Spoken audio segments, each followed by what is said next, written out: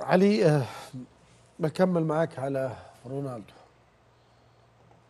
يعني يروح يلعب مباراتين في أيام الفيفا.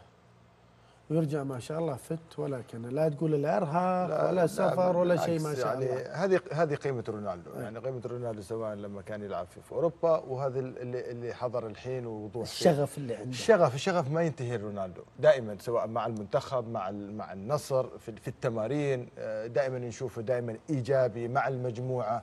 فمهما رونالدو كبر فأعتقد أن عطاءه يكبر معاه في في كل لحظة. وأعتقد مثل هذه الأشياء تشوف كل ما يسجل هدف آه، كنا أول مرة مسجل الهدف في في في في لحظتها. على ولكن مستوى شوف لو نشوف التحركات ردة فعله واضح.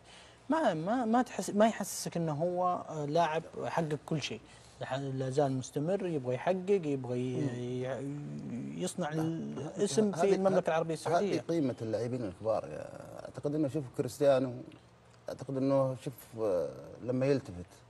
كل لاعبين النصر تيجي يحضنهم. هذه ترى قيمة اللاعب الكبير اللي إحنا نبيه بالدوري السعودي. خلك إنه أفضل آه، لاعب العالم خمس مرات خلك إنه هذا. لكن هذا وجوده.